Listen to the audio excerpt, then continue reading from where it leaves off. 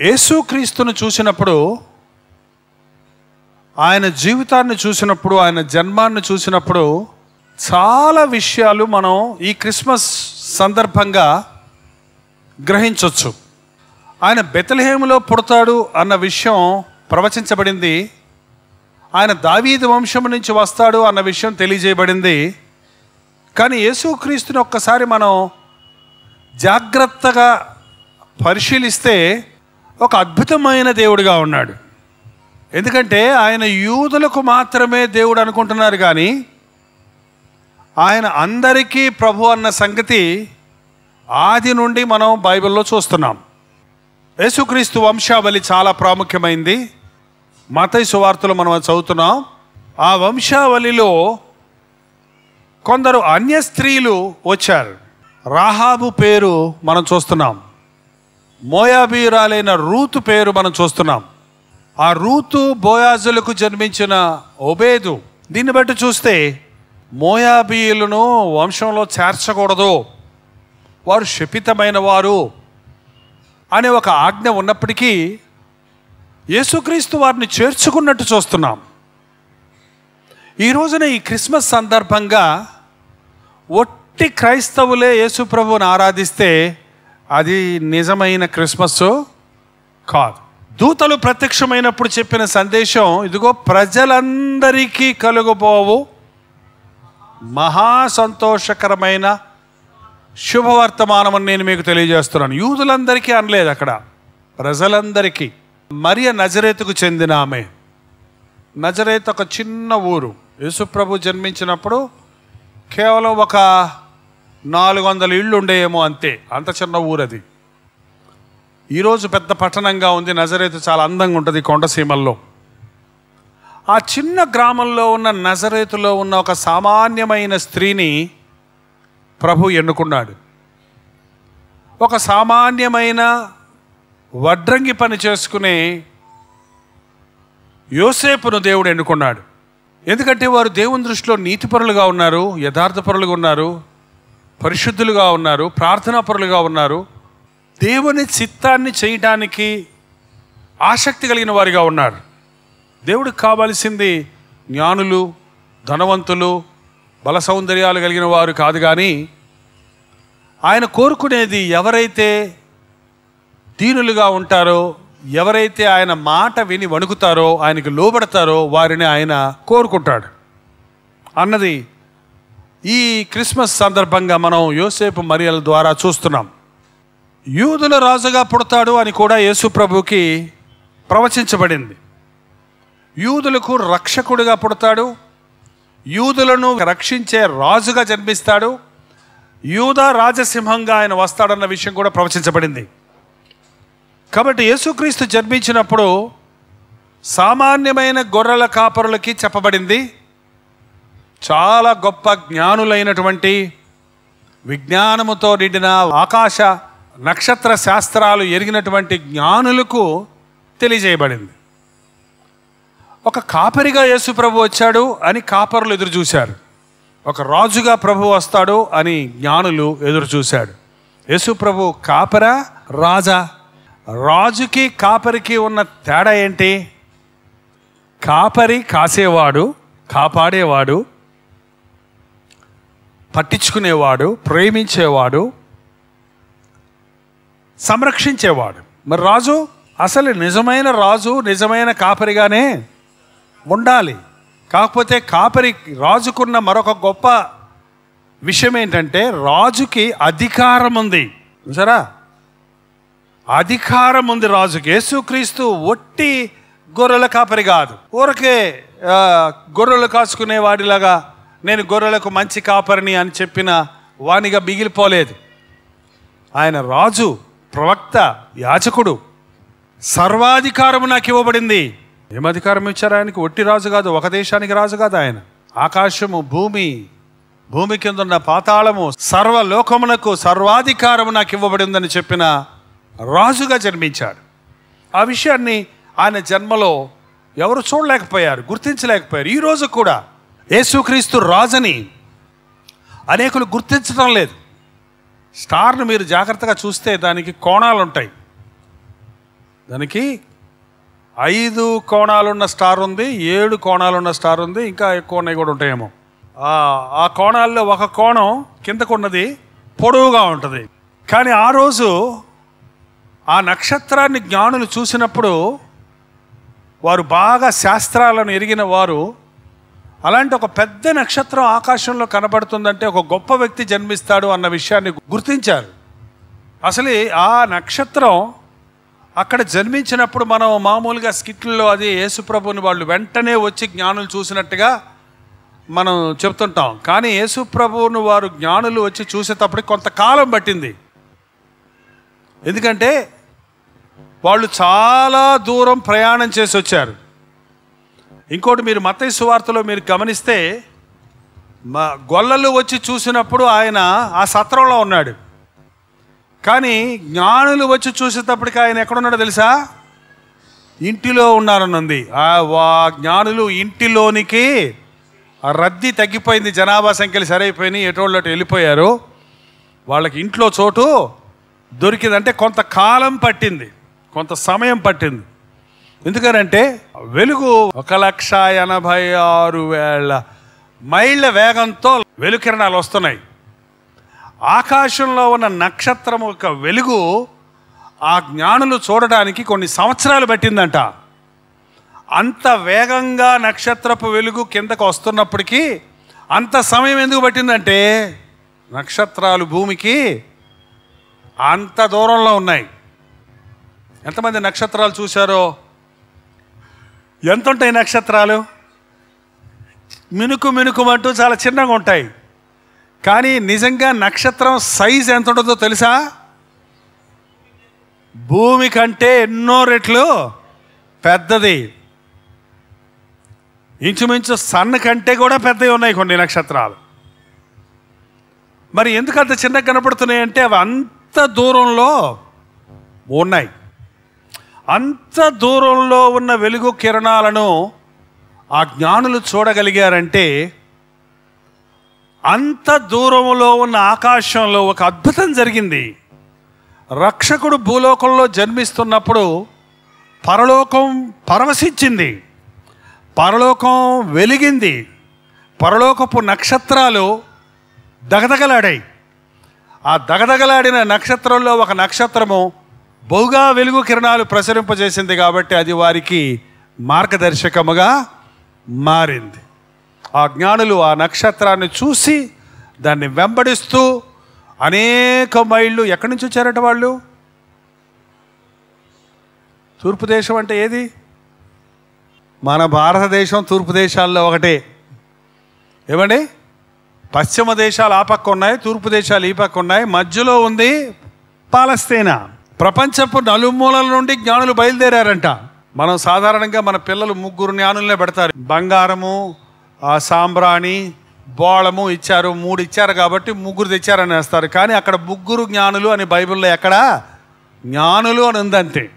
కొన్ని వేల మంది జ్ఞానులు బయలుదేరారు కానీ మధ్యలో మార్గాయాసం వలన ఎంత దూరం ప్రయాణం జరిగి చేసినా ఇంకా కడతేరని మూలాన కుటుంబాలను వదలలేక ఇల్లులు వదలలేక పిల్లల్ని వదలలేక వెనక్కి తిరిగి వెళ్ళిపోయారు. కొందరు జ్ఞానులు మాత్రమే ప్రభువును వచ్చి చూడగలిగారు. చూడండి ఈ రోజుల్లో కూడా క్రిస్మస్ పండగ చాలామంది ఆచరిస్తారు. కానీ ఎంతమంది ప్రభువును దర్శిస్తారు? లేక నిజంగా నా యేసు ప్రభు నా కొరకు జన్మించాడన్న విషయాన్ని స్పందిస్తారు? క్రిస్మస్లోని సారం నా కొరకు రక్షకుడు జన్మించాడు. నా పాపములను నేను విడిపించడానికి రక్షకుడు జన్మించాడు. నేను ఇంకా ఎందుకు పాపంలో ఉండాలి? నేను ఇంకా ఎందుకు దుఃఖంలో ఉండాలి? నా సంకటాలు కుదిర్చే ప్రభు నాకు వచ్చాడన్న విషయాన్ని మరొకసారి జ్ఞాపకం చేసుకోవటమే సంవత్సరం సంవత్సరం మనం క్రిస్మస్ను గుర్తు చేసుకుంటున్నప్పుడు చేయవలసిన పని. చాలామంది ఆసక్తితో ప్రారంభిస్తారు కానీ మధ్యలోనే ఆగిపోతారు. క్రిస్మస్ దినాల్లో కూడా ఎంత వ్యర్థంగా క్రిస్మస్ దినాన పల్లెల్లో కొన్ని చోట్లలో ఆచరిస్తున్నారో తెలుసండి? ఇక పట్టణాల సంగతి చెప్పక్కర్లేదు. కొన్ని దేశాల్లో క్రిస్మస్ని అబ్యూస్ చేస్తున్నారు. అబ్యూస్ అంటే అపహాస్యం చేస్తున్నారు. అవమానకరంగా క్రిస్మస్ని ఆచరిస్తున్నారు. ఒక అన్య పద్ధతుల కంటే హీనమైన పద్ధతికి దిగజారుస్తున్నారు. అందుకనే మనం యేసుక్రీస్తు జనాన్ని ఎరిగిన గుర్తించిన ఆయన రాజు యాచకుడు ఆయన కాపరి ప్రభువు ఆయన క్షమ పాపాలు క్షమించేవాడు ఆయన పాప విమోచకుడుగా ఈ లోకంలోనికి వచ్చాడు అని గుర్తించిన వారు ఆయన్ని ఆత్మతో సత్యముతో ఈ పండుగ దినాల్లో ఆచరించాలి. ఆ రోజు ఈ జ్ఞానులు తెగ్గించి గుర్తించి ప్రయాణం చేసి వచ్చినప్పుడు వారు చిన్న సైట్రాక్ అయ్యారు. నేరుగా ప్రభు దగ్గరికి రావాల్సిన వారు హేరోద్ దగ్గరికి వెళ్ళిపోయారు. ఎందుకంటే యూదుల రాజు కాబట్టి రాజుగారు ఎక్కడ పడతారు?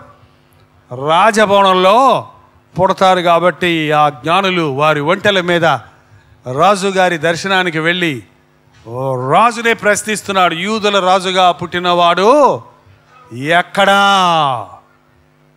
పిచ్చి పట్టింది పాపం ఆ హేరోదుకి. ఇదేంట్రా నాయనా నాకు తెలియకుండా మరొక యూదుల రాజు ఎవడో? నా నన్నే వచ్చి అడుగుతున్నారే వీళ్ళు? నేనుండగా ఇంకొక రాజు ఏంటి? అని ఆ హేరోదు భలే దుర్మార్గుడండి భలే కఠినుడు. ఎట్టయినా యూదుల్ని సంతోషపెట్టి యూదులకు రాజుగా వందిపోదామని తీర్మానించుకొని గుడి కట్టించాడు వాళ్ళకి. దేవాలయం కట్టించినోడు హేరోదే. దేవాలయాన్ని కట్టించి హేరోదు యూదులను సంతోషపెడటానికి వాళ్ళ ఓట్లు కాజేయటానికి? అబ్బో ఓట్లు. మన దేశంలో ఉన్న రాజకీయవేత్తలను చూడండి. ఓట్ల కోసం ఏమన్నా చేస్తారు. ఓటు వేసిన తర్వాత ఏమీ చేయరు ఆ? ఈ దేశానికి విమోచన కలగాలంటే విమోచకుడైనది క్రీస్తు ద్వారానే సాధ్యం కానీ ఎవరు ఏమీ చేయలేరు. ఈ లోక రాజ్యంలో ఎవడి సుఖం వాడు చూసుకునేది కానీ ఇతరుల సుఖం చూసేది కాదు. అయితే యేసుక్రీస్తు ఈ లోకానికి వచ్చినప్పుడు ఆనాటి యూదుల పరిస్థితి ఇంతకంటే అధ్వానంగా ఉండింది. ఎవరు వాళ్ళని పట్టించుకునే వాళ్ళు లేరు. వారు రోమా సామ్రాజ్యము ఆధుర్యంలో ఉన్నాడు. హేరోదు వంటి కఠినుడైన ఇద్దరు ఇద్దరు జమీందారులు. అక్కడ రోమావాడిది ఒక అటాసం చేస్తాడు. ఇటు రాజు హేరోదు ఒక అటాసం చేస్తాడు. రెండు పక్కల బాధించబడి కుమిలిపోయి నలిగిపోయినటువంటి మేము వాగ్దానం చేయబడిన వారిమే అబ్రహాము సంతానానిమే మేము మమ్మల్ని దేవుడు అందరికంటే ఉన్నతమైన స్థితిలో ఉంచుతానన్నాడే. మిమ్మల్ని ఆశీర్వదిస్తాను ఇతరులకు ఆశీర్వాదకరంగా చేస్తానన్నాడే. మా బ్రతుకులు ఇలాగైనవే మాకు స్వేచ్ఛ లేదే మాకు తిండి లేదే అని మేము పన్ను కట్టాలి మా దేశం ఇది స్వదేశం ఇది మా స్వదేశంలో మేము పన్నులు కట్టాలి అనే పరిస్థితుల్లో కుమిలిపోతున్నటువంటి సమయంలో రక్షకుడి కొరకు వారు ఎదురు చూస్తున్న సమయంలో యేసు ప్రభు జన్మించాడు. యేసు ప్రభు జన్మించినప్పుడు కొందరు ఆయన ఒక రాజుగానే చూశారు.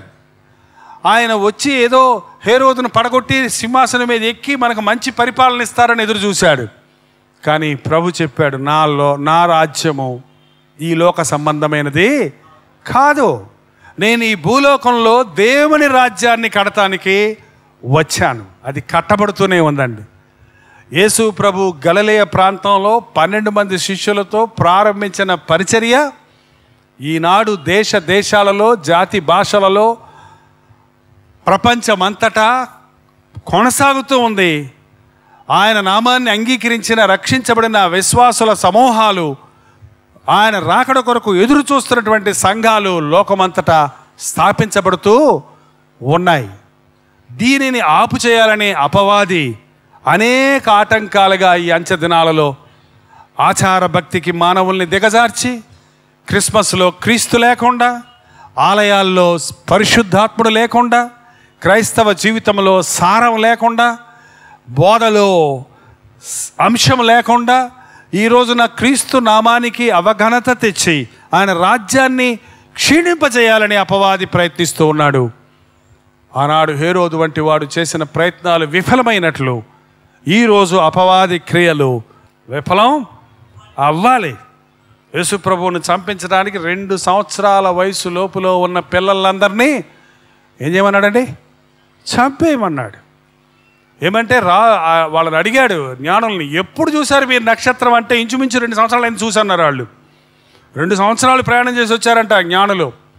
కాబట్టి ఏమన్నాడు? ఎప్పుడు ఇప్పుడు పుట్టాడు అనుకోలేదు ఎప్పుడో పుట్టుంటాడు ఆయన. ఎందుకైనా మంచిదని చెప్పి రెండు సంవత్సరాల వయసు లోపల ఉన్న పిల్లలందరినీ చంపించేశారు. నేను అనుకుంటానండి ఎంతమంది పిల్లలు చనిపోయారు ఆ రోజు రాత్రి రామాలో ఏడ్పున్నది అని ప్రవచనాల నెరవేర్పు దేవునిని తృణీకరించిన వారి కుటుంబాల్లోనికి మరణం వచ్చింది ఒకవేళ ఎన్ని కుటుంబాల్లో పిల్లలు చనిపోయారో అన్ని కుటుంబాలకి ఆ రోజు రాత్రి మరియు యోసేపులు వెళ్ళి కొంచెం స్థలం ఇవ్వండి కొంచెం స్థలం ఇవ్వండి అని అడిగారేమో. మేమే పిల్లలతో స్థలంలా చేస్తున్నాం నీకెక్కడ ఇచ్చేది మా ఇంట్లో కూడా ఓ పసిపెట్టి ఉంది నీకెక్కడ ఇచ్చేది మాకే సరిపోవట్లేదని ఒకవేళ వాళ్ళు తలుపులు తెరవలేదేమో. ఏమండి? ప్రభువుకు మనం చోటు ఇవ్వనప్పుడు సాతాను మనకులో జ్వరబడతాడు. ప్రభువుకు చోటు ఇచ్చినప్పుడు ప్రభు సన్నిధి ఉన్నప్పుడు ఆ చిన్న సత్రం ఆ పశువుల శాలలో ప్రభువుకు చోటు దొరికినప్పుడు ఆ పశువుల శాల ఏమైందో తెలుసా మీకు? అక్కడ స్టార్ వచ్చి నిలబడింది. ఎవడు కట్టలేదు స్టారు. స్టార్ అక్కడ నిలబడి ఉంది ఇంటి మీద. ఏమొచ్చింది? గొల్లలు వచ్చి పాటలు పాడుతున్నారు. అక్కడ సంగీతం వచ్చింది. జ్ఞానులు వచ్చారు. జ్ఞానులు దిగినప్పుడే అటాసంగా ఉంది అక్కడ పరిస్థితి. ఆ జ్ఞానులు గుహలోకి రాగానే గుహ అంతా కలకల్లాడుతుంది వాళ్ళు తెచ్చిన విలువైనటువంటి కానుకలు అక్కడ పెట్టగానే గుమగుమలాడుతుంది. ఏమైందండి? యేసు ప్రభు ఎక్కడున్నాడో అక్కడ కలకలలాడాలి కా మాట్లాడండి గుమగుమలాడాలి. ఏంటమ్మా క్రిస్మస్ రోజు కూడా బయట కొనుక్కొచ్చుతంటే అంటారు ఇంట్లో గుమగుమలాడించండి. క్రిస్మస్ రోజు మీ ఇంట్లో గుమగుమలాడనివ్వండి. మీ ఇంట్లో కలకలలాడనివ్వండి ఇంట్లో అంతకంటే మించి సంతోషంగా ఉండండి. అయ్యో క్రిస్మస్ రోజు కలకల్లాడిస్తారు గుమ్మగుమలాడిస్తారు కానీ గుసుగుసులు ఆడుతుంటారు సరిగ్గా క్రిస్మస్ రోజే గొడవ పెట్టుకుంటారండి అదేందో కొంతమంది. మీ ఇద్దరు కీసులు ఆడుకుంటుంటే మీ ఇద్దరు ఒకరికొకరు గొడవ పెట్టుకుంటుంటే పిల్లల మనసులో గుబులు వాళ్ళకి మంచి బట్టలు వేసినా మంచి కేకులు పెట్టినా ఏం చేసినా ప్రయోజనం లేదు. వాళ్ళ సమాధానం సంతోషం పోద్ది. పండగ సందర్భంలో సాతారుడు బట్టల దగ్గర తిండి దగ్గర ఏమండి? బంధువుల దగ్గర ఏదో చిన్న విషయాన్ని లేనిపోని విషయాన్ని తీసుకొచ్చి సమాధానాన్ని పాడు చేస్తాడు. గమనించండి యేసుక్రీస్తు ఉన్న చోట సంతోషం ఉండాలి సమాధానం ఉండాలి ఐక్యత ఉండాలి ఆరాధన ఉండాలి స్థుతి ఉండాలి కృతజ్ఞత ఉండాలి. దేవుని నామానికి మహిమ రావాలి. మీ ఇంటిలో నుంచి మంచి సంగీతం. ఆ రోజు దూతలు వచ్చి పాటలు పాడాయి. దూతలు ఉన్నాయి అక్కడ. ప్రభు పుట్టినప్పుడు దూతలు ఉన్నాయి. దూతలు గొల్లలకు చెప్పి ఇంటికి వెళ్ళిపోలేదు. ఎక్కడికి వచ్చాయి? అక్కడికి వచ్చాయండి. దూతలు యేసుప్రభు జన్మించినప్పుడు పైన గీతాలు పాడుతున్నాయి. దూతలు పాటలు పాడేయండి. ఈరోజు మీ ఇళ్ళల్లో పాటలు ఉన్నాయా? ఎంతమంది ఇళ్ళల్లో క్రిస్మస్ పాటలు ఉన్నాయో చేయి చూపించండి. ఓ కమాల్ ఈ ఫెయిత్ఫుల్. సైలెంట్ నైట్ ఇలాంటి కొన్ని పాటలు రాగానే ఆ సిచ్యువేషను ఆ యొక్క అట్మాస్ఫియర్లో ఒక విధమైన ఆనందం కలుగుతుంది. మీ ఇళ్ళల్లో ఏం పాటలు పెట్టుకుంటున్నారు? మీ గృహాల్లో మీరు ఉంటున్నప్పుడు ఖాళీ సమయాల్లో ఏం చేస్తున్నారు? యేసు ప్రభువుకు జన్మించాడన్న సంగతిని జ్ఞాపకం చేసుకుంటున్నారా? అని ఒక్కసారి మీరు మళ్ళీ పరీక్ష చేసుకోండి. ఈ క్రిస్మస్ను నీవు సరిగ్గా ఆచరిస్తే నీవు దేవుని ఎడల కృతజ్ఞతతో దేవుని సన్నిధిలో ఆయన దర్శనం చేసుకొని మరొకసారి ప్రభు దర్శనం చేసుకోవాలి మనం. నువ్వు కూర్చొని నా కొరకు పరలోకాన్ని విడిచి వచ్చిన ప్రభువు నన్ను ఎంత ప్రేమించాడు అని ధ్యానించాలి. అప్పుడు ఆ ఆనందంతో నీ గుండె నిండుతుంది. అప్పుడు నీ ముందున్న కొత్త సంవత్సరంలో ప్రవేశించడానికి నీవు సిద్ధపడతావు. చాలా ముఖ్యమండి. సంవత్సరాలు గతించిపోతున్నాయి కానీ మన జీవితాల్లో మార్పులు అవటం లేదు. సంవత్సర ప్రారంభంలో ఒక విధమైన ఉత్సాహం ఉంటుందేమో కానీ కొద్ది రోజులు రాగానే మళ్ళీ గో బ్యాక్ టు బ్యా సేమ్ స్టేజ్ అన్నట్టుగా. ఏమండి? ఒకడు అన్నాడంటే నేను స్ట్రైట్ చేస్తానని కుక్క తోకని పదిహేను రోజులు పట్టుకున్నాడంట. చూసావారా? స్ట్రైట్ అయిపోయింది అన్నాడంట. వదులు చూద్దాం అన్నాడంట. వదలంగానే అబ్బా ఎంతసేపరా నన్ను పట్టుకొని చంపావు? వదిలిన మరుక్షణంలోనే మళ్ళీ వెళ్ళిపోయింది అలాగా.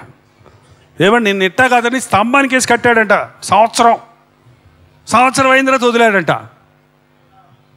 ఎంతకాలం ఎంతకాలం కానీ నిజమైన క్రైస్తవ భక్తి ఇట్ ఈస్ సెల్ఫ్ జనరేటెడ్ ఏంటంటే లోపట నుండి వచ్చేదే కానీ కీ ఇస్తే వచ్చేది కాదు మీరు బొమ్మలు కొన్నారు ఎప్పుడన్నా కీ చదువు పెట్టామనుకో టకటక టకటక టకటక టకటక టకటక టకటక టకటక మళ్ళీ కీ చదువు అంతే ఈరోజు చాలామంది భక్తి ఎలా ఉందంటే క్రిస్మస్కి కీ ఇస్తే దొర్లుద్ది. ఈ బ్యాటరీలు కొనేసుకుంటామండి మనం ఈ రోజుల్లో. బ్యాటరీలు వేసుకుంటుంటే ఏమైపోతున్నాయి? బ్యాటరీలు. ఏం చేయాలి? ఆ బ్యాటరీలను అస్తమానం. రీఛార్జ్ అన్నా చేయాలి. మార్చుకొని కొత్త అన్నా వేసుకోవాలి. కానీ ఇప్పుడు సోలార్ పవర్ కనిపెట్టారు. సెల్స్ కూడా వచ్చాయి మీకు తెలుసో తెలీదు. ఆ సోలార్ పవర్లో మీ సెల్ ఉందంటే మీరు ఛార్జ్ చేసుకోవాల్సిన అవసరం ఏమీ లేదు. ఆటోమేటిక్గా అది ఏమైపోతుంది ఛార్జ్ అయిపోతుంది. మనకు కూడా యేసు ప్రభు ఇచ్చే ఆ యొక్క శక్తి మనం డైరెక్ట్గా ప్రభు దగ్గర నుంచి పొందేవాడికి పాస్టర్ గారికి ఇవ్వాల్సిన అవసరం పక్కోళ్ళకి ఇవ్వాల్సిన అవసరం భార్యకి ఇవ్వాల్సిన అవసరం భర్తకి ఇవ్వాల్సిన అవసరం లేనే లేదు. ఎప్పటికప్పుడు నీతి సూర్యుడైన యేసు వైపు నీవు చూస్తుంటే ఆ నీతి సూర్యుడి వెలుగు కిరణాలు నిన్ను ఉత్తేజపరుస్తాయి నూతనపరుస్తాయి నువ్వు ముందుకు సాగిపోతావు. క్రీస్తు కొరకు ప్రజలు ఇస్తావు. క్రీస్తు నామాన్ని మహిమపరుస్తావు. నిజమైన క్రిస్మస్ నీతి సూర్యుడైన క్రీస్తును కనుగొనటం నీతి రాజైనటువంటి క్రీస్తు అధికారంలోనికి రావటం. మీ ముందున్న కొద్ది రోజుల్ని సద్వినియోగపరచుకోనండి. మీ భక్తి జీవితాన్ని సరిచేసుకోనండి. కొత్త సంవత్సరంలో ప్రవేశించడానికి సిద్ధపడండి. దయచేసి తల్లవంచండి ప్రార్థన చేసుకుందాం. పరిశుద్ధుడా మరొకసారి నీ పాదాల దగ్గరికి వస్తున్నామయ్యా. అలనాటి జ్ఞానులు వలె నిన్ను అన్వేషించే మనసు మాకు దయచేయి. ఆభ్యంతరాలు ఆటంకాలు కలిగిన ఆగిపోకుండా సాగే శక్తి మాకు దయచేయి. సంవత్సరాంతంలో ఉన్న మేము శక్తిని కోల్పోయేవారిగా కాక నీతిశూరుడువైన నీ వైపు చూసి నూతనపరచబడటానికి నూతన సంవత్సరములో నీ శక్తి సామర్థ్యములతో ప్రవేశించి నిన్ను మహిమపరచడానికి సహాయము చేయము. ప్రతి కుటుంబంలో నీ ఆత్మను కుమ్మరించి సమాధాన సంతోషాలను మాకు అనుగ్రహించి నూతన సంవత్సరం కొరకు కావలసినటువంటి అభిషేకమును మా అందరికీ అనుగ్రహించమని క్రీస్తునామనుడుచున్నాము తండ్రి. ఆమెన్.